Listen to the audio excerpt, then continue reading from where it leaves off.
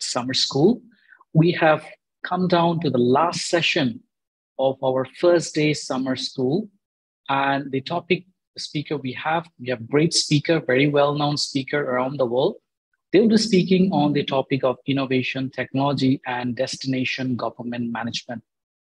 So uh, before we jump into the session, just a quick guidelines uh, for our session.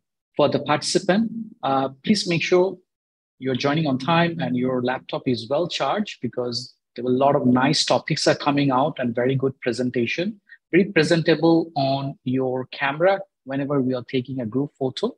Uh, try to chat very responsibly and be respectful to your colleagues and academics joining around the world and try to minimize the distraction. So uh, our session will be same as usual that we have done the last session. Please post your question through Slido. I will highly encourage that.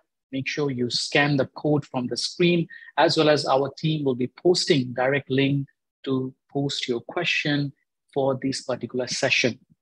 So we are going to introduce our moderator for this session. It's none other than Dr. Siamak Seyfi. Uh, thank you so much, uh, Dr. Siamak, for moderating this session. He is from University of Oulu, Finland, and he will be moderating this entire session with very good speakers uh, who will be speaking on innovation, technology, and destination government management. So over to you. The floor is yours, uh, Dr. Siamak. Thank you very much. Thank you very much, uh, Dr. Rupam, and uh, hello to our participants and good, good morning, good afternoon, and good evening, uh, as Dr. Bom said, depending on where you are. Uh, welcome to the uh, second CRIT Summer School on Innovation and Technology to achieve uh, SDGs. In this session on innovation, technology, and destination governance and management, uh, we have a three wonderful speaker from Australia, New Zealand, and France. After each uh, speakers deliver the talk, there is a time for questions. And please uh, follow the instructions given in the chat box for, for asking your questions. Uh, all right, so let me introduce uh, our first speaker, Professor Noel Scott. Uh, he's a joint professor of tourism management in the Sustainable Research Centre, University of Sunshine Coast, Queensland, Australia. Uh, his research interests include the study of tourism experience and destination management and marketing. He is a frequent speaker at academic and industry conferences. He has over 300 academic publications, including 17 books. He has supervised 30 doctoral students to the successful completion of their thesis. He is on the editorial board of 10 journals, a member of the International Association of China Tourism Scholars, and a fellow of the Council for Australasians Tourism and Hospitality Education Management. He's the author of a number of publications which have been widely translated. Thank you very much, Professor Scott, to be with us today, and the all floor is yours. Well, thank you, uh, Dr. Simic, and uh, it's very, very nice to be here um, again, and also to have the opportunity to talk um, uh, to quite a wide range of um, participants. Uh, it's impressive to to know how many people uh, are at the uh, have joined the conference. So well done to Taylor's. I'm going to share my screen now. Let's see if I can do this. Um, can you see that okay, I think? Is that good? Yeah, yes. Yes. Excellent, thank you. Well, so that's probably the hardest part of my presentation done. Um, I wanted to talk a little bit about um, a topic uh, that is very important and it actually touches upon some of the uh, discussions that were in the previous session, um, especially that by uh, Mariana Segala, who was talking about, you know, how uh, how how we're just going to go back to the way things were in development of tourism, and um, uh, so this this presentation sort of touches a little bit on that.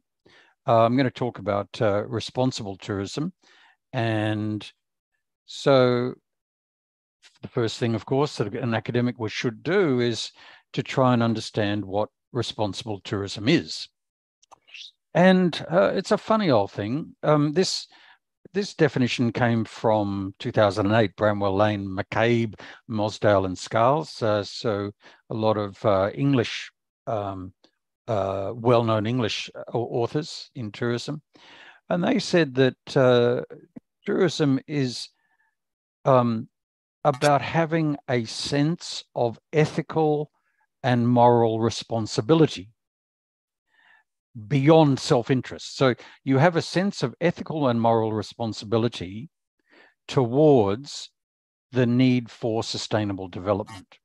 Okay, so if you are um, a person who is responsible um, within the tourism sector, then you have a sense of moral responsibility to try and achieve sustainable development. And you could be one of many different types of people. You could be a tourist, you could be an industry manager, you could be an employee working in a in a business, uh, tourism business, and uh, you could be uh, uh, an industry association manager, perhaps, a politician, someone in government, presumably in the Ministry of Tourism. You would be you could be a, a person working in a non-government organization or even in the host community.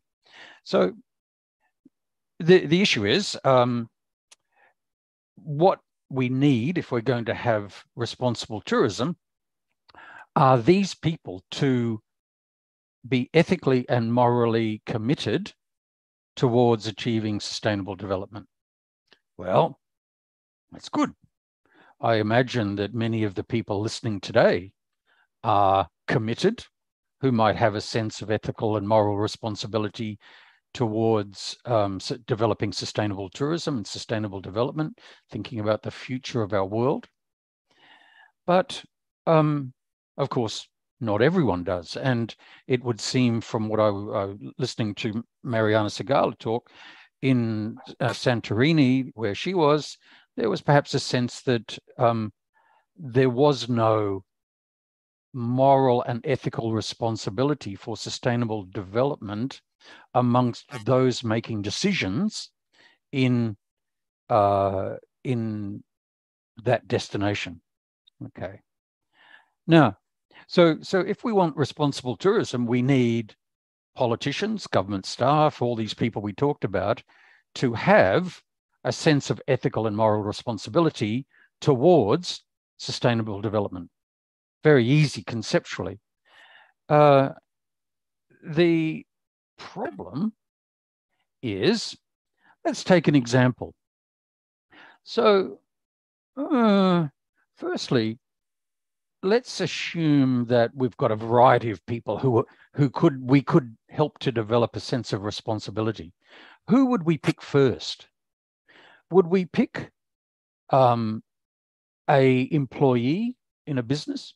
Well, yeah, sure. He'd be that'd be he or she would be a very good candidate to improve um, to to have that sense of responsibility and to do everything within their power to to improve sustainable development.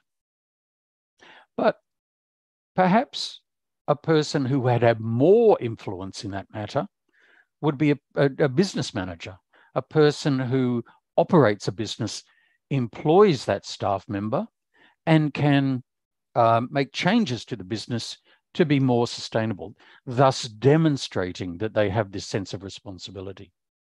Well, that'd be good. But probably we might pick um, a minister for tourism as having even more influence and ability to change uh, or to to not only demonstrate their uh, ethical responsibility, but actually to do things. So there's no point in having ethical responsibility towards sustainable development if you're not actually going to implement anything. And if you're going to implement anything, then you would normally um, influence things within your control. The people who have the most control, of course, tend to be higher up in the tree. The Minister for Tourism, the uh, uh, um, the Destination Management Organization, perhaps some of the larger tourism businesses, the airport, and so on.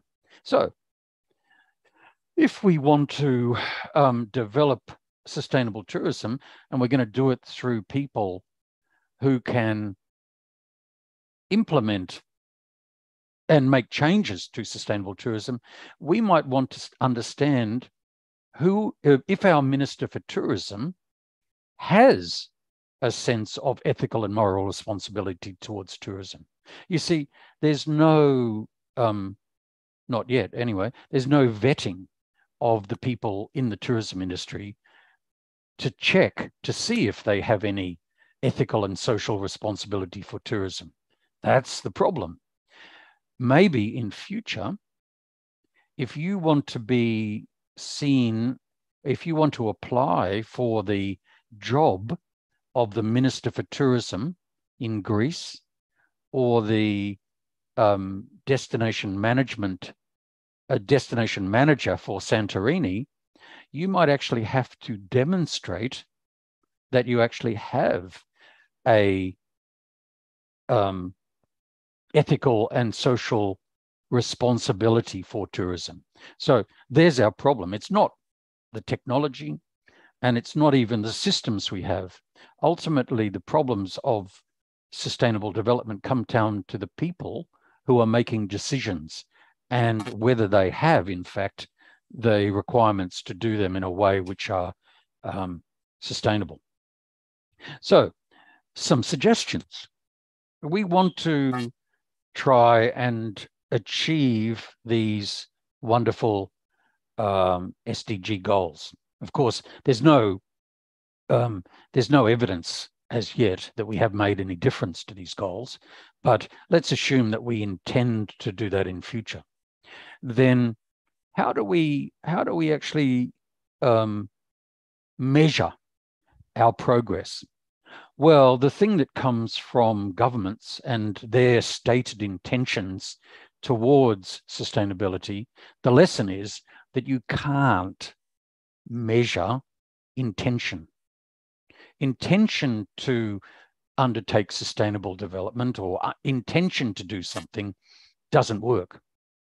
Uh, there's and there's very good reasons for um, for that in terms of how people think. There is an intention action gap, and that's not unusual. So you can't assume that if a person says they are they are going to be ethically and moral, morally responsible, they will do it. In fact, in most cases, they will not. Not because they're lying, but because in a particular situation they would like to, but then they move on and some things change and there's an economic crisis or something, and their good intentions are lost. So you can't rely on um, intention, you've got to rely on action. Uh, the next thing is uh, who would you focus on if you were wanting to find out, find people who were ethically and morally responsible. That is, people who are going to help to change um, responsible tourism.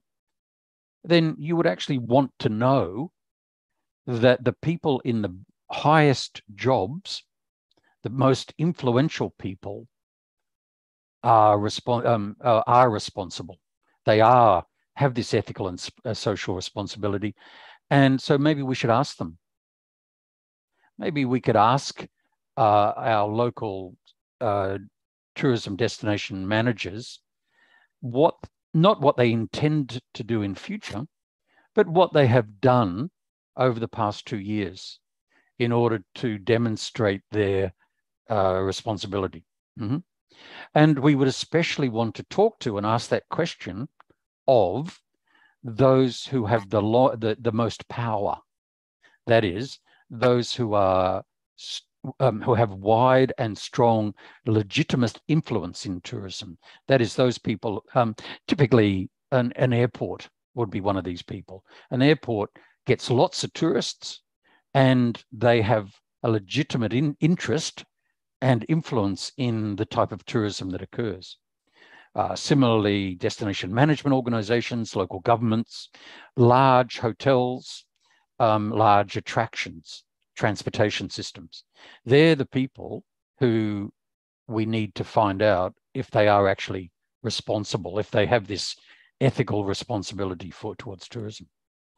Um, it's good to know that um, an, an individual person or tourist has this ethical sense of responsibility towards sustainability. But the problem is one person, one individual isn't going to make much difference. Um, stakeholders. So we should also try and find stakeholders who perhaps are influential in key parts of the economic system or even the natural system. So national park managers probably would have that sense of responsibility, but um, dive operators going into a national park may or may not if they're if it's a marine national park. Um, so how can we change their how can we influence them? Well, this is where the theory of planned behavior is actually right. Most of the time, the um, theory of plan, planned behavior is not predictive, but the, in terms of social norms, if you can change social norms in society or in the organization or in the environment of a person, that will probably change their opinions. So, um, if you can change the social norms, get community vocal and uh, involved in in uh, wanting sustainable tourism, asking difficult questions, then that will probably lead, or is more likely to lead to changing the the the behavior or the the social ethics displayed by influential people. And that's sort of the way the world has been changing over the past 30 years or so. You know, um, there's this groundswell uh, swell convincing people that um, the environment needs changing. You know, we need to respond to environmental uh, changes. And slowly, slowly, slowly, the large corporations and things, to some extent, are addressing those issues, although they will ma- maintain uh, that power and, and control as long as they can. Okay, so um, that's pretty much my my summary. Uh, uh, uh Dr. Simak, um, there's uh, these were questions that I was sent. Would you like me to talk about those, or was that your job? You, sorry, my yeah yeah I was unmuted. Well, actually, uh, we will have some questions uh, at the end of the three presentations. I said at the beginning of the at the end of each presentation. Oh, okay. So we'll wait for three presentation, then uh, that will be followed by the questions to the um, each speakers. Let's say. Oh, all right. Okay. Well, so I'll go on then, and I'll I'll just um, then um, pretty much. I don't know how long we've been talking for. I can talk underwater usually, but um, today things have gone very quickly. Um, so conclusions. Um, I'm trying to not be an academic here. I'm not trying to tell you definitions and things. I'm trying to get you to think, well, what can we do? Because we're talking about responsible tourism. So this is about demonstrating that we all individually have this sense of social and moral responsibility to improve sustainable tourism. So, what do we do? What's what are our what are the actions that we actually can make ourselves or encourage others to do? Well, first of all, we would um, try and change social norms, those the influence of uh, the, the social people around us, our networks and things. Although that's hard because mostly if you are a person with a, a certain ethical stance, normally your friends have the same ethical stance. So um, that's the principle of homophilia. People who are have the same beliefs and ideas usually are friends together. So it's not going to be very helpful for us individually to try and change our uh, our networks, the, the the opinions of our networks, because they will probably be the same already. Uh, but we can certainly work on a wider social uh, level. In terms of uh, key stakeholders, I really like the idea of employing people in key jobs who can demonstrate that they're that they have a sense of social and moral responsibility. We have we have an interesting case in Queensland where the government wants uh, the the state government wants to put in um, cabins accommodation into a national park and they say oh yeah this will be okay with this uh, these people over here they they want to put this these cabins into the national park be great for tourism the place will develop but when you actually go and find the background of the people who are going to be operating these cabins, they have no background in anything to do with the environment or with nature. They're business people. So the question is do they have a sense of moral and uh, ethical responsibility for the environment? Because they're the type of people who should be implementing things in a national park, tourism activities in a national park. So, can we judge people? Can we require people in public office or in working in national parks or working in tourism to actually have that if they want to work there? That might be an interesting one. And then, but but of course, the other thing is you can be a small um, homestay you can you can only see four or five people a year tourists but demonstrate to those people that you have this this sense of responsibility and ethical commitment the problem is so so if we were judging how much um, how much change a person is able to do we might expect that that um, that small tourism operator make some change in terms of the people who come through their their uh, accommodation, stay overnight, talk to them, but we would have to say that their the amount of change that they make, while good, would be small compared to someone who has a lot of resources. So what we would be expecting is those companies or people or government organizations with the most resources would be making the most change. And of course, they're not. So um, that's perhaps where we need to call them into account. Okay, so um, that's pretty much, there, there, are a series of references here um, which are incredibly useful and interesting. Um, and I think there's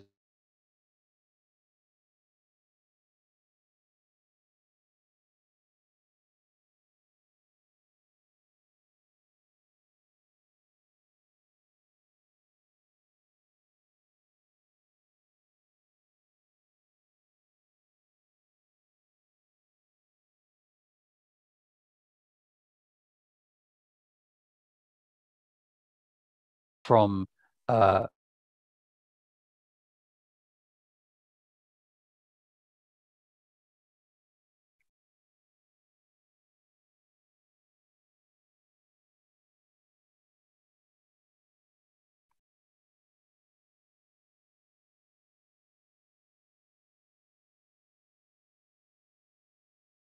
Uh,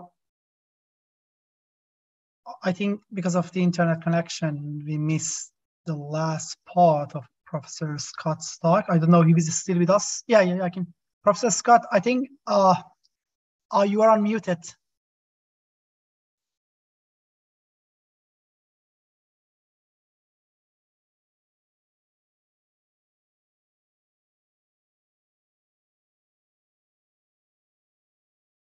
Yeah, you're still unmuted. Actually, we cannot hear you.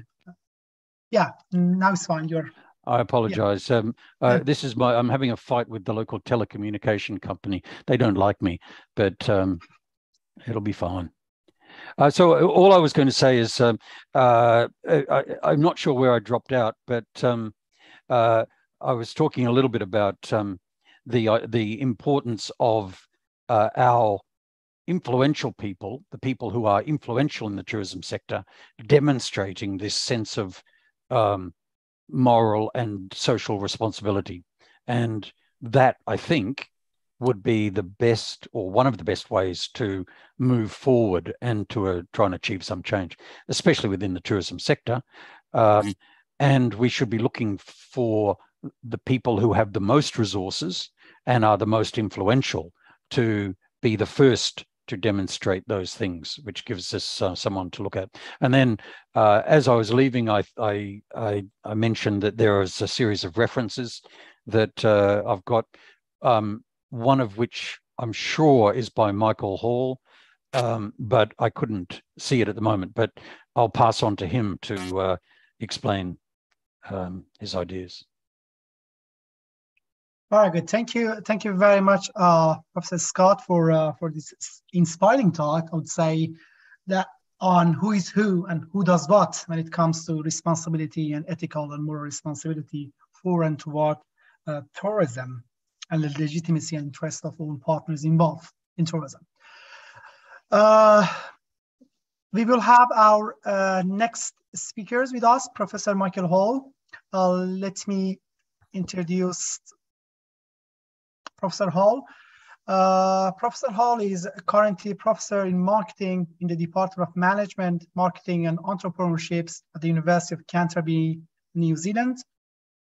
He's uh, currently a docent in geography, University of Oulu, Finland, a visiting professor in the tourism program at Linnaeus University, Sweden, uh, guest professor in the Department of Service Management at Lund University in Sweden, uh, and he has also some other visiting professorship in Sweden, uh, Finland, Malaysia. Uh, he's also a frequent visitor to the geography department at Umeå University. A prior position in Australia, New Zealand, and elsewhere include a professor in tourism at the University of Otago, where he was also head of department for six years uh, Professor of Tourism and Service Management at Victoria University of Wellington, uh, visiting professor at Sheffield Hallam University, UK, and Center for Tourism Studies, University of Eastern Finland, and honorary professor uh, in the Department of Marketing, uh, Stirling University, Scotland. Uh, uh, professor Hall has honorary doctorate from several universities, the University of Umeå in Sweden, University of Oulu in Finland, Lund University, Sweden. And according to the uh, Google Scholar analysis for the, uh, for the category of tourism, uh, he's the currently the most cited scholar in the subject area and is also highly cited in geography, regional development, sustainability, and global environmental change. In 2009, he was named the Xavier Science Director for the Great Thinking, Arts, Humanity, and Social Science category winners. Professor Hall, the stage is yours. Thank you. I'm sorry for that long introduction. um, selamat malam. Uh, terima kasih dalam mengundang saya. Uh, halo teman-teman semua. Dan saya berharap dapat bergari kembali ke Malaysia. Um, Lovely to be back. Hello to everyone. Today, I'm, I'm probably going to be taking a, a contrary view to what most of the conference will be about. I'm even going to use a couple of slides I used last year because they're still equally relevant. And I'll start off with this one because it sums up the problem of sustainability for tourism and what we need to address. And what I'm going to be arguing is just thinking about technology in isolation is by no means sufficient at all. In fact, we've had a whole series of many years, many United Nations meetings trying to come to terms with the issues of the limits to growth, the limits of resources, and the fact we only have one planet. Tourism as an industry probably hasn't come to terms with that yet. Why? Because we just keep on focusing on growth and that's what most of academia teaches. And that is also what governments embrace. And it's interesting, obviously, thinking about transformation in the post COVID environment. I think transformation we desperately need. Will I think we get it? No, I don't think we'll have any transformation whatsoever.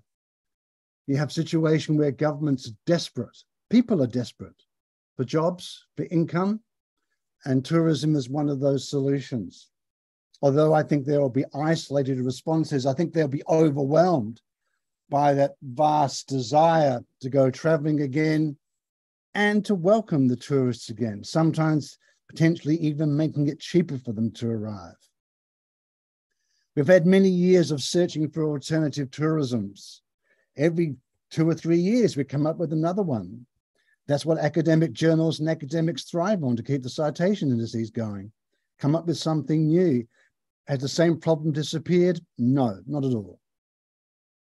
So we have a problem. And the problem is there are limits to growth, there are limits to resources, and we have one planet. And we have real problems because on top of that, we've had the not only COVID, but the Russian invasion of Ukraine. And we have actually constraints on mobility in some places. Will it make much difference? No. What's our context? I actually wonder how many of everyone listening has actually read the SDGs in full?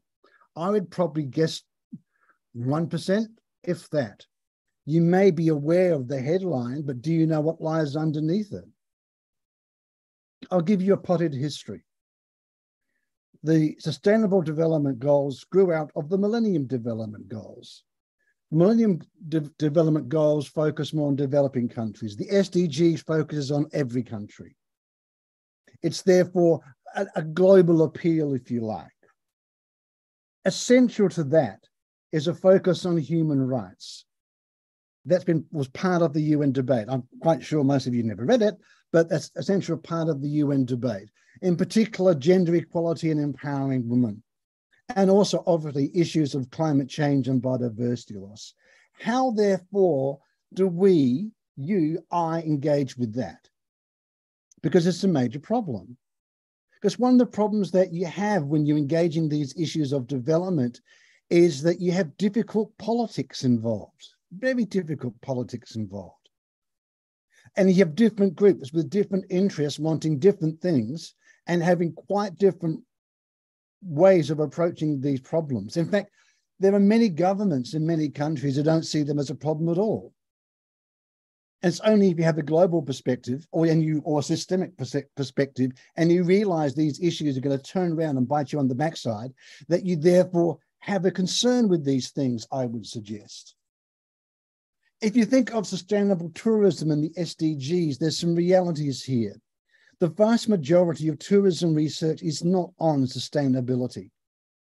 Only about, if we're lucky, 12 to 15% maybe a, a tad more addresses sustainability. The vast majority of tourism research is about growth and attracting people.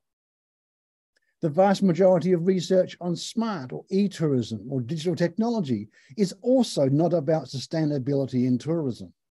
It's about growth and increasing your bottom line. And that has its place. But it means, in one sense, some of the big issues aren't even discussed. And I actually think we have an even bigger problem, if I'm being honest, and that even much of the research on sustainable tourism doesn't really challenge very much.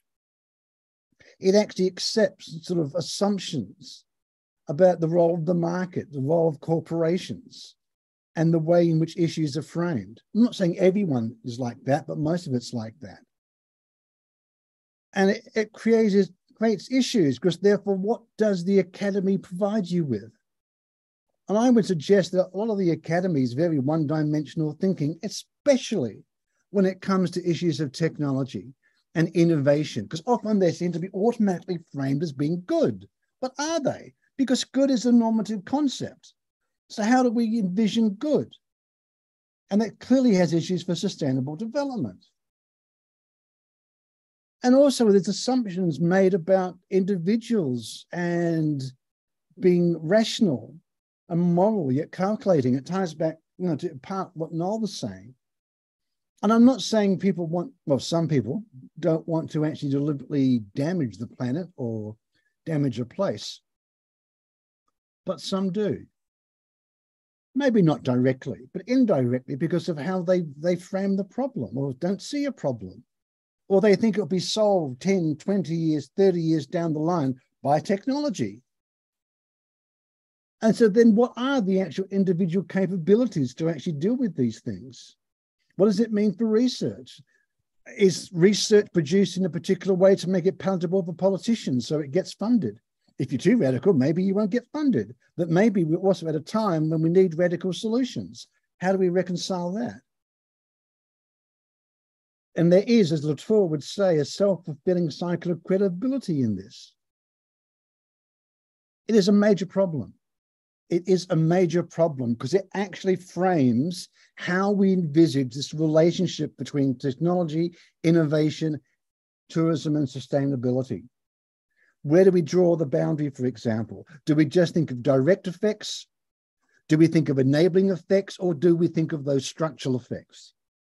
I, and I often find it ironic, and I have this with my own institution, that there's a, an embrace of technology and e platforms. But at the same time, there's also research, research coming from staff saying um, students are loner and are more lonely than ever. People are more lonely than ever. They're more isolated than ever. And it's like, hang on, isn't there a connection here? Wouldn't it be nice to connect with people rather than a platform? Or with a chat box. And I find that fascinating in the tourism context because when I was um, working in the industry, that personal service dimension was important. That was what gave you authenticity and experience. How do we reconcile that? So, is this embrace of technology about efficiency and keeping costs down? And maybe we think, well, the tourists will buy anyway because it's cheap. Or is it really about improving industry, whatever that means, and improving the customer experience? And these are issues which affect us when we think about sustainability. And this is a diagram I seem to show, show every presentation, and it's an important one because too much of the focus of what is discussed in technology and in tourism as a whole in sustainability is about making things more efficient which is good in one sense. Efficiency is a good thing, using more for less. But, and this is the problem, the but is tourism, is starting to happen again, grows at a faster rate than efficiency. Therefore, your resources are still drawn down. So, therefore, the problem becomes one of sufficiency. How much should we have to have a comfortable life? Including as a tourist. And if you then pose that question, you then come back to that limits of growth debate from which the SDGs started in the first place. Some, if you look at legacy, some 40, 50 years ago.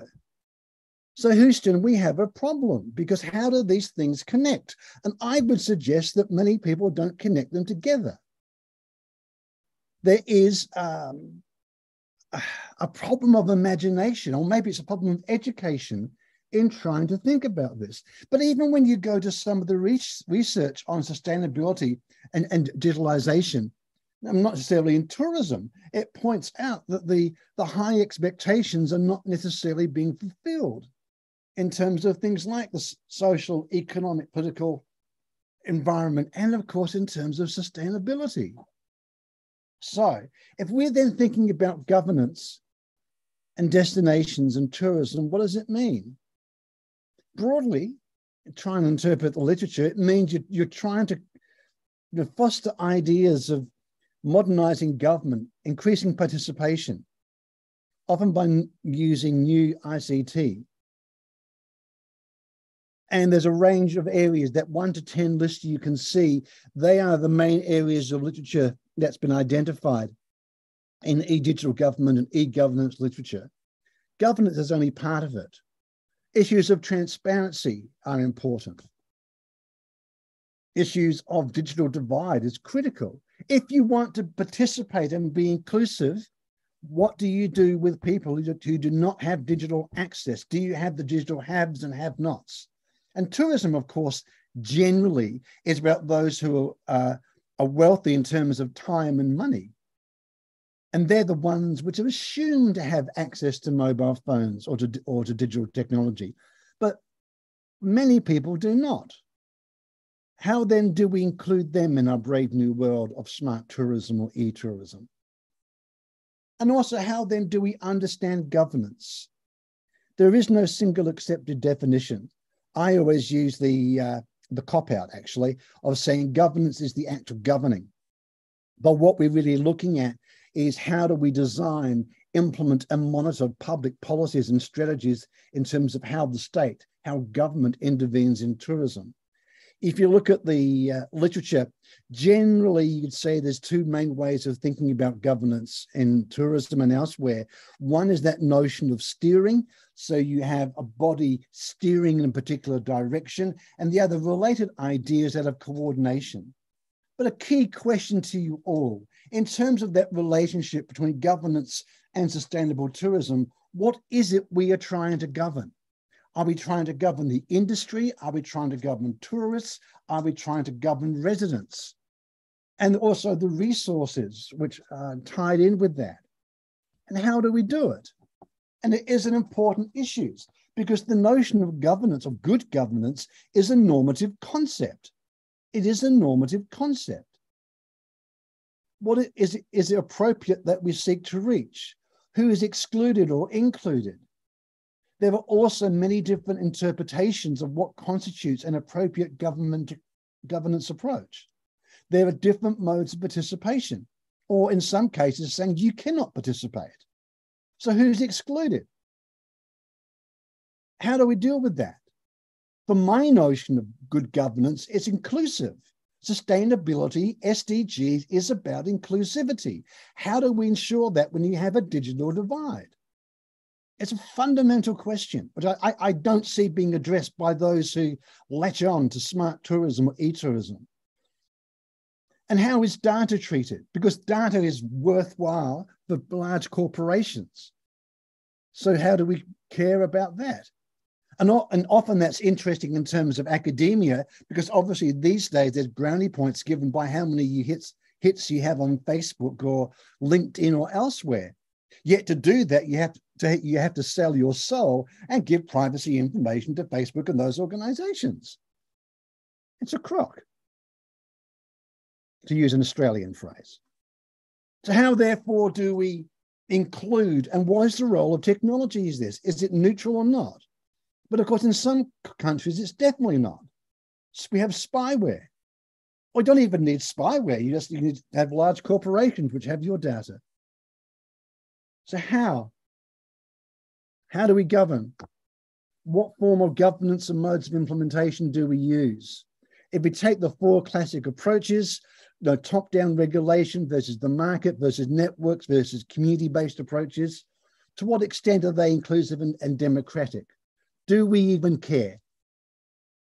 And it is a question to ask because in many cases, um, tourism can actually grow much easier if it's not inclusive and it's not democratic because you can build what you want. And there's a long history of, of autocratic regimes using tourism as a way of uh, generating foreign exchange. So I want us to think about the basics, not to get excited by the latest piece of technology, but ask some really fundamental questions.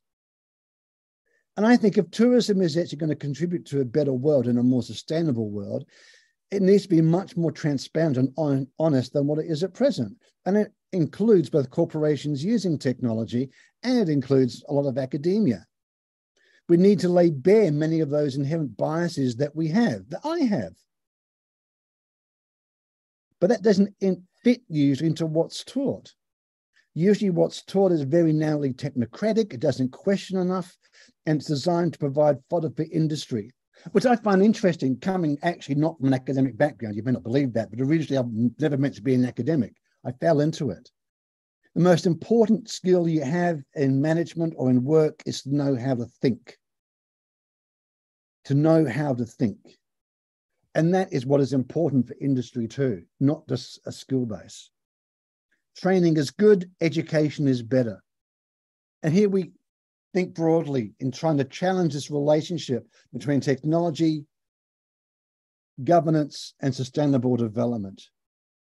If you focus too much on efficiency and growthism and promoting technology and digitalization, then sustainable development has no chance whatsoever. And sustainable tourism doesn't. What's important is that you should be asking very basic and very fundamental questions. What are the normative assumptions and the promotion behind it, behind digitalization and governance? Are they made transparent? Innovations are not necessarily good. They're not. So whose notion of good do we use though? Is it clear? And good for whom? Going digital is not necessarily good. In some places it works, in others it doesn't. So, what assumptions lie behind its supposed contribution to the SDGs? My concern is, it's part of the big picture, as it is at the moment, a lot of this, the digitalization, innovation, talk about governance is actually all about growth and increasing visitor numbers yet again. It may be more efficient, but as I started off with, how sustainable is that going to be? And I don't think it's going to be sustainable at all. Thank you very much.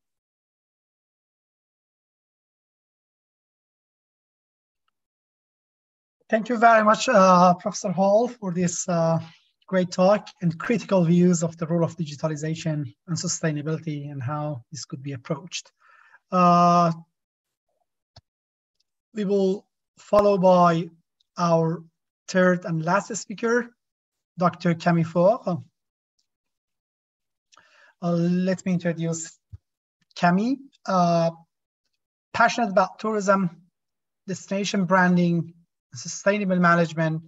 Uh, Dr. Faure started a career at Quebec Ministry of Tourism in Montreal, Canada, after being in charge of PR and local tourism development in a ski resort in the Alps.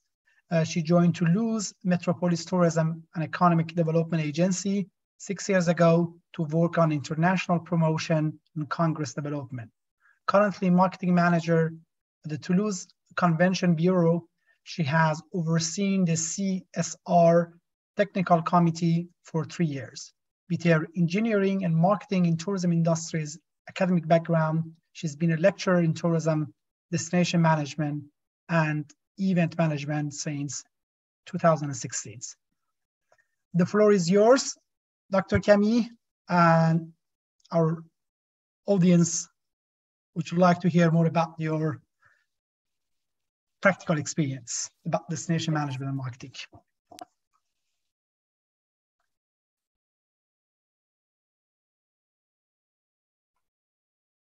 Good afternoon, Kuala Lumpur. Uh, thank you for the introduction. So I'm Camille Faure. I'm the marketing manager at the Toulouse Convention Bureau in France. I'm very honored to be with all of you today, and I should say I'm a little bit impressed. Um, please excuse my English. I will do my best to stay clear in the keynote. I've been offered today to present a case study about the sustainability management at the destination as a DMO uh, regarding the international index we joined two years ago. All the process that led us, including the ISTHIA Professional Challenge, leaded with the master's degree students in 2020. The sustainable management uh, in a destination is an endless issue. The purpose here is not to present a blueprint, but uh, humbly explaining the project that we lead it, we are leading and the journey we're on. First of all, and at a glance, uh, Toulouse is the fourth city in France renowned for its uh, university, obviously, numerous researcher, but as well to be the world leading capital of aeronautics, but also bustling a strong industrial research and development background in health, life science, and mobility, one of the many strategic fields. Uh, Toulouse is a metropolis uh, open to the world and um, can boast a settled meeting industry, counting on a recently open convention and exhibition center certified LEED, which means leadership in energy and environmental design construction. The destination management organization in Toulouse gathered four services, uh, which for each aims are to inform, attract and support project leaders in specified markets, leisure tourism, um, business and investing, meeting and events, and filming promotion. More specifically, the Convention Bureau has, uh, has a goal to gather and coordinate and promote the MICE offer abroad, responding the needs of meeting organizer, such as association, agencies, corporate companies.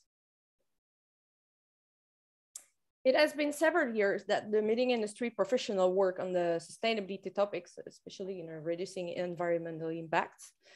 But it becomes more and more important, and I would say it was powered by the sanitary crisis. Uh, it is nowadays a basic requirement for the client.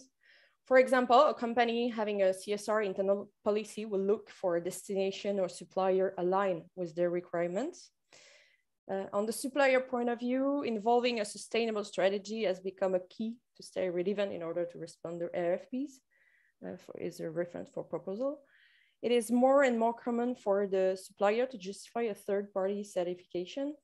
Uh, and as well, it is very important nowadays. It helps to attract and keep talents. Um, many recent inquiries shows that the young professional are willing to commit in a company which support a sustainability policy uh, in those time of staff shortage, it could become a USP itself. And um, so for destination, it is an opportunity to structure, formalize, monitoring, corporate, and in addition, of course, of the necessary limitation of uh, carbon emissions. Generally, the event industry is a pioneer in solution finding, and it is important to understand that the sustainability here as holistic and strategic environmentally in order to lower the consumption carbon footprint impact on events. Also, the economic impact can be very important for the destination with attendees' local expenses.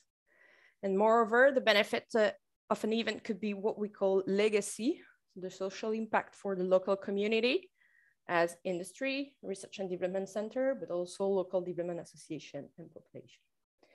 In our case, the whole process of formalization has passed through the CVB and the local meeting, the local meeting industry partners. And I would like to specify that we're focusing here on the scope of the meeting management, the DMO scope. All the local and general policy is in the scope of the uh, governor institutions. Our approach was driven as a result of all the monitoring we have done in other markets, uh, well set up on the sustainability management, at a glance, we applied a several step methodology inspired by quality management methodology, consisting in understanding the existing stakeholder systems, formalize B2B event cycle, uh, identify key actors, settling goals, objective and action plans uh, in order to implement the famous plan, do, check, act. As you can see, um, we started this process not so long ago, but we monitored a lot of markets. Uh, there were a lot of things which has already been done uh, when we started the process. I should point out that we started at the ground zero of formalization. And after monitoring uh, the market uh, from international corporation association we are a member of, we needed at this point to clarify and objectives, strategies, so we started a student project around the strategic planning of sustainability for the destination with uh, ISTHIA master degree students, uh, which, has, which allows us to work on the basis of the formalization. Uh, in 2020, we joined the Global Destination Sustainability Index and started from there the evolution of action, catalysis of sustainability management for our DMO. And the CSR technical committee has been settled last year, leading a three scopes carbon footprint audit. And now we're involving local players. Um, we still not yet a leading destination in France, but uh, thanks to the national corporation, we're working on our improvement. One year before entering the GDS, uh, for having the possibility to step back on the issues in order to clarify all the draft project, we organized a one-year professional challenge with ISTHIA master degree students. Uh, it was really important for us to include the academics in the process, having an input from new professional generations uh, to help us design a roadmap uh, with a systemic analysis of the stakeholders and prefigure draft of action plans uh, for us regarding our partners and our clients. Uh, that led us to the formalization of first the stakeholders inside the territory scope, uh, the whole supply chain for meetings uh, within the local policies and our role as a DMO, and to respond the challenges of the market externally to the territory, client planners, competitors, and for each has been sketched their needs, goals, and attempts. Um, due to the complexity, due to its complexity, we have to understand that the project as a matrix, many stakeholders are involved with uh, different expectations and goals. Um, to highlight some, the DMO is one of the link between the client and suppliers. The client need to have an easy access to the targeted supplier, for instance, and the supplier have to stay competitive uh, so they commit in a sustainable approach. And as a DMO, the key is to structure and formalize uh, for a better structuration and promotion.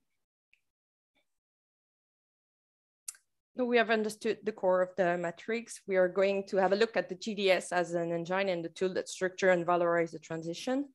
Uh, we were the fourth city in France to join the movement. Uh, in 2022, three more have joined the process and we, we help each other, sharing cooperation and best practices.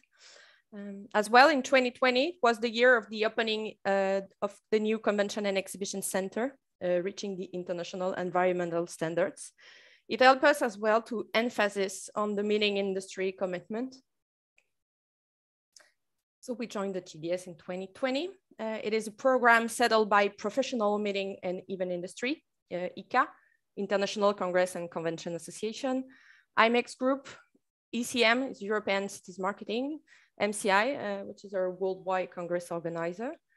Uh, the aim is to measure, compare, and improve the sustainability strategy, environmental, social, and economic, and the performance of the destination regarding the meeting and tourism industry. The GDS evaluate destination performance according four uh, areas, key areas, environment, suppliers, social evolution, and destination management. The index produces an annual listing of the most sustainable cities in the world. In order to be listed, uh, cities must meet 70 criteria and achieve a high score in each of those fields. We knew that uh, we were not going to be top leader at the benchmark the first year, but it was a good indicator to start. Uh, the GDS uh, was meaning industry centered powered uh, with an international corporation we're part of, uh, internationally recognized and aligned with the SDGs and international standards. Uh, we decided to join the movement and use the GDS as a compass uh, to allow uh, to eco and to build up initiatives. As well, the uh, annual benchmark help us to convince locally, local governance with technical and trustly indicators um, the GDS requires a certain level of formalization, so we have to we had to improve about the sustainability and business strategy formalization. Last but not least, uh, the power of the network and cooperation with leading sustainable destination was really a key. The GDS count on 70 criteria uh, concerning environmental performance, uh, local policies and infrastructure such as climate change commitments, carbon emissions, um, resources and water management. Those criteria are under the Metropolis umbrella. They highlight the, we highlight in the GDS what is leaded by the general local policy, but we cannot act on it for social progress area uh, is monitoring the city's performance against indicator for SDGs integration, corruption, personal safety, access to information, uh, using external sources such as the Social Progress Index or Corruption and Perception Index. For those criteria as well, we highlight what is set up at the local or national level. The supplier performance addresses the sustainability commitment and performance for the local meeting industry supply chain, including airports, event agencies, hotel venues. And finally, the destination management performance indicates the sustainability commitment for the DMO about the maturity uh, and the maturity of the destination, the leadership in communication and sustainability initiative to support clients and planners. The GDS uh, is for us a guideline in order to move towards the height standard, but certainly we cannot, as a convention bureau, which all of them, Uh, the benchmark and monitoring helped us to prioritize uh, for now some action in which we have some possible creep on uh, supplier and obviously DMO. So we have planned a timeline, prioritize some actions locally concerning especially DMO and suppliers that we keep our monitoring and improving with the GDS inputs. Uh, with our local network, we highlight those already involved. And for example, hotel, we encourage them to commit in a third party certification. We also push to formalize in a better way our communication about the sustainable offer that client planners. To sum up this presentation, uh, further, the necessity of changes, uh, the sustainability management is requirement for destination. In order to stay competitive, the world scene uh, for the B2B meeting uh, events.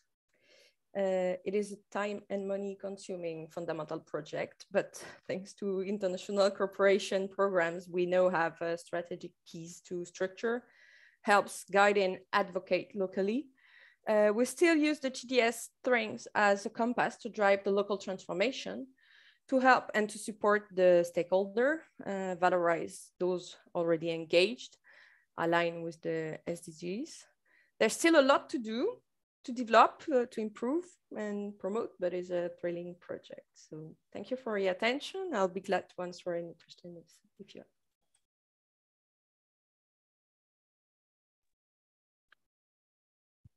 Thank you very much, uh, Dr. Camille, for this interesting uh, uh, presentation, which provides us a very good case study of GDS. Uh, we've got uh, some question from our, our audience, which given in the links given to them. So I will start by the first question for Professor Scott. Uh, the first question is, do you have any example for responsible tourism from Queensland? I think I interpret this question as, is there any example of the implementation of responsible tourism happened in Queensland? Um, well, thank you, and a very good question. Um, uh, yes, there are a number. Um, I think um, Lady Elliot Island would be uh, one that springs to mind. Uh, so this is an island which uh, is on the lower end of the Great Barrier Reef. The um, the uh, leaseholders uh, took this island over, and it was a bit degraded. Um, uh, maybe 25 years ago, and since that time, they've turned it into a, um, you know, off the grid. they've done rehabilitation uh, of the uh, of the uh, vegetation, um, and so on and so on and so on. So there are some examples where a tourism operator has not just maintained the uh, the uh, environment and their their site, but actually improved it and improved it significantly over time. While at the same point, um, while at the same time they have uh, um, had good business. And in fact, um, it it does appear that if you can um, demonstrate your environmental uh, credentials, um, then there is a market willing to reward you for that. They still want a good experience, but um, they are willing to pay um, probably uh, some premium in order to uh, uh, for people who are who are doing um, uh, who are responsible.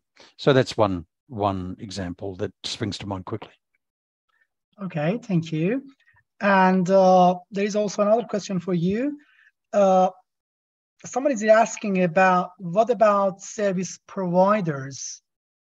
I think they are directly up to date daily influencer for responsible tourism. Well, uh, well, uh, yes, that's true. Um, what I was, but what I was pointing to is the fact that um, their ability to influence um, or to uh, demonstrate their commitment uh, is restricted to their trade area, for example. So, um, they, uh, of course, any um, contribution to de- or demonstration of responsibility, environmental ethics, and so on is a good thing. It's just, um, and so we should applaud and reward people who are um, demonstrating their responsibility. It's just um, the ability of those people to make a significant change uh, is uh, restricted by the nature of their business. So, um, I, I, guess what I'm saying is the answer to uh, demonstrating responsibility, in part, comes from uh, recycling towels or uh, not using plastic straws. Those are good things, but they're not they they are steps along a path, but they are not making the major changes that we're required. So while a smaller business of various types can make changes and should be encouraged to, we're looking, we should be looking in other places for um, major significant improvements. Okay, thank you very much. Uh, perfect. So there is one more question for you and uh, and the rest of the question is for Professor Hall and uh, Dr. Faure. Uh, the last question is that given that sustainable tourism is mostly visionary, what's your take on the view that sustainable tourism is somewhat indeterminate uh, in achieving the SDGs? Uh, well, uh, I, would have to defer to um, Professor Hall for this. Uh, I think he spoke well in terms of the actual um, observable, significant change um, that we have experienced, let's say, up until the end of 2019, um, in terms of uh, sustainable and responsible tourism or uh, contribution to SDGs. Um, there are there are significant um, contributions. I mean, uh, tourism has got problems. One of the major issues is um, for international travel is um, uh, carbon emissions and pollution by airlines. Uh, so, what do you do about that? I don't know. If um, if we uh, uh, if there is offsets, well, that's good. You're still producing the pollution, but at least there might be some offsets. Um, where does that go? Where where would I? Where could someone point to the enormous and significant change that um, those offsets have created so far? I can't see them. Hmm. Okay, thank you. Th thank you very much, uh, Professor Scott. Uh, I think, Professor Hall, if you wish, you, you can elaborate on the same question before I'm asking the question, which is really directly targeted for you. So you may wish to further elaborate the previous questions if you wish.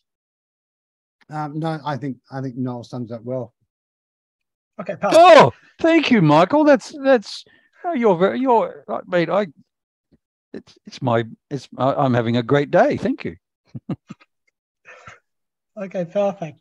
So uh, the first question for you is, uh, Professor Hall, is that how should tourism policy frameworks be designed in non-democratic destinations and how tourism smartness may destroy a SDG achievement in such emerging non-democratic, let's say, destination countries. well, it, it, it's almost, yeah. it's almost a, a tautology, you know, what should I say should happen in a non-democratic uh, destination?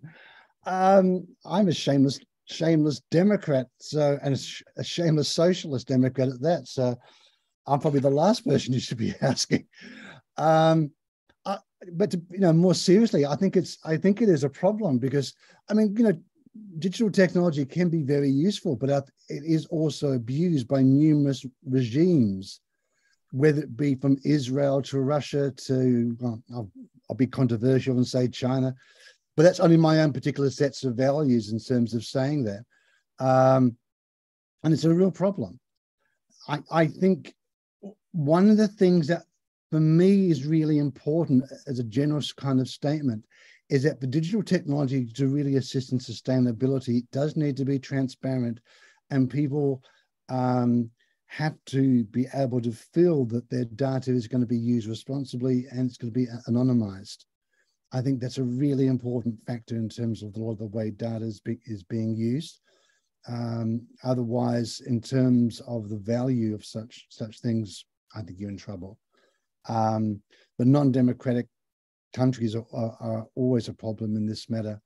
Um, if for no other reason you don't necessarily have the checks and balances in place that can assist you in having appropriate safeguards for individuals and having appropriate safeguards for sustainable tourism too.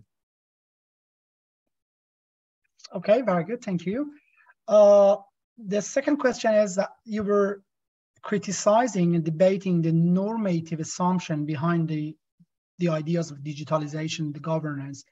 Uh, what's your perspective on the role of digitalizations and how this could be adopted by the tourists to make a positive change? Yeah, I, I think I, I think digitalization can be positive, but I think what's important is that the normative assumptions behind it need to be transparent. And whose digitalization? It's like companies, you know, and evidence for this. Companies like Airbnb, I mean, they're awful in terms of their abuse of, dem- of democratic and non-democratic channels as well, actually. And there's a very, very, very good um, overview of them in the Guardian about two weeks ago um, and the way in which they subvert democratic processes. Um, uh, and it, so it's like everything. Digitalization can be a, a basis for good, but uh, you know we have used this notion of sharing economy, but most of what it refers to is large corporations. It's not community based, um, and that's where some of the shifts need to be, in terms of of having genuinely open internet data and digitalization. That is what is essential. Rather than having it having it marketized and, and turn it into profit making.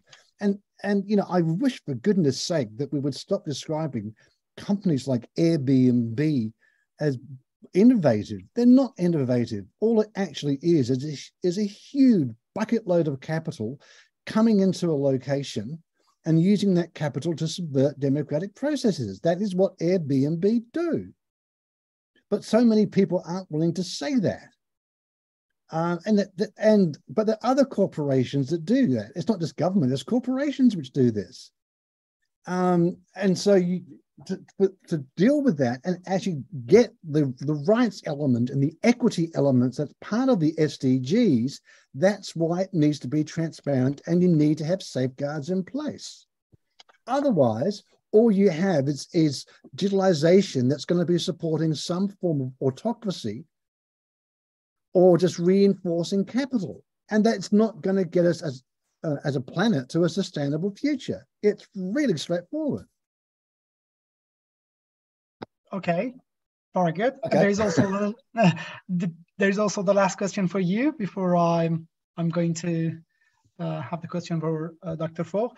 In your conceptualization of, of the notion of the governance and the and the inclusivity approach to the governance, where do you see the role of politics? In that politics, new, yeah, politics yeah. Is, is essential to this. I mean, and, and politics in the sense of of of making power clear who gets what and making that clear.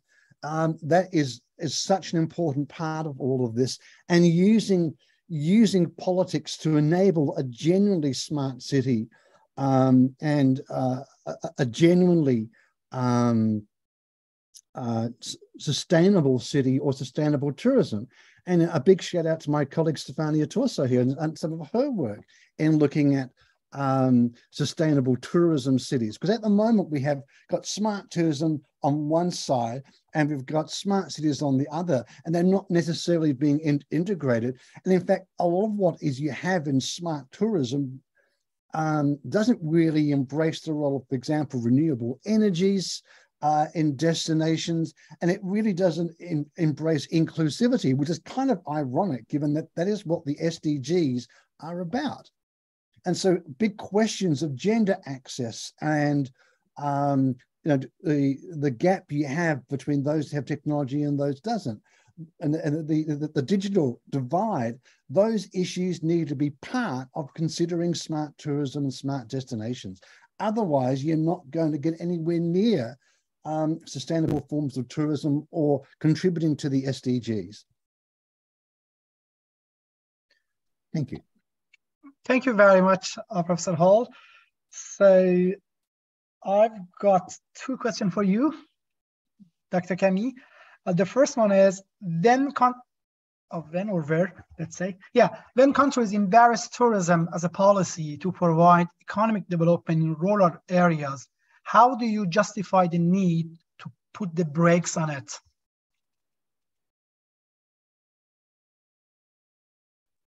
It's a very good question. um, yeah. Justify the uh, the the question is um, we have to accompany the the clients the best parts. It's to be honest, it's really complicated as for a destination saying no, uh, thank you, I don't want this project anymore. so that's the first point. And um, for know to um, put the brakes on the project is way more like to how can we accompany the project to change and to transform. I would say this. Okay, thank you. Uh, and the last question for these sessions. Does idea of positioning my destination via sustainability uh, change the way how industry behave or the purpose is still just positioning versus transformations? Um, the, the transformation was started from the clients and from the providers and the supplier itself. So uh, the DMO is here like to uh, to go with and to accompany again uh, these changes. And I think um, local players, like the first doing the meeting industry, uh, they are they were the the engine and the clients were the engine as well. So I think the transformation goes from itself. Okay, very good. Thank you very much for this uh, short answer to these questions. Okay, perfect. So that brings us to the uh, end of session and I will have a session summary.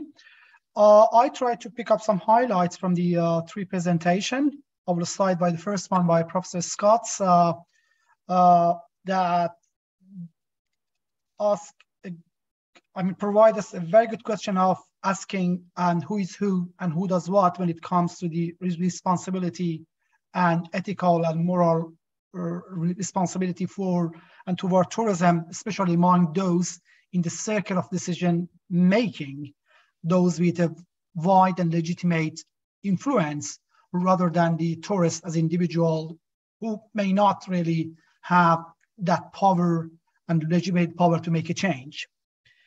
Uh, and also the changing the social norms and the changing the ethical beliefs, which is also very, very important when it comes to implementation of, uh, of, of, responsibility. Uh, Professor Hall also criticized our understanding of governance, which is a, mainly a normative uh, concept, by, by, by, by providing a conceptualization of this uh, uh, approach and also inclusivity approach to that by emphasizing that and uh, ask a fundamental question about what are the normative assumption behind the ideas of digitalization and the governance. And, in, and Dr. Camille also gave us uh, some practical and contextual case study of how destination uh, sustainability performance could be performed in, in a destination such as Toulouse, which is a, one of the main tourism destinations in France. Uh, I wish to thank everyone, all of our all of our audience uh, for participating in the session. Of course, big thanks goes to the all the three speakers from Australia, New Zealand, and France for uh, for this great uh, for sharing the, their thoughts uh, about the role of innovation and technology in, in, in shaping and influencing destination uh, management, destination governance and marketing. Thank you very much, uh, Dr. Siamak, for wonderfully moderating the session, and also uh, Prof. Scott for very insightful perspective, and also Dr. Hall on providing very beautiful perspective and very different from others, and also Dr. Camille. So I'll ask all the participants if you can give a one word feedback. The direct link been posted on your chat, or either you can scan this QR code to give a feedback. How did you really like this session using one word? Right, moving onward, we'll have a group photo, a quick group photo. I think we are on time already. So I'll encourage all the participants to open up your camera so that we can take a group picture. Right, I'll stop sharing my screen. Okay, still waiting for the participant to open up your camera. Right. So go through quickly the pages. In page number one, one, two, three. Page number two, I'll give smile, good smile. One, two, three. Page number three, one, two, three. Page number four, one, two, three. That's all. Thank you very much, everybody, for joining this session. Uh,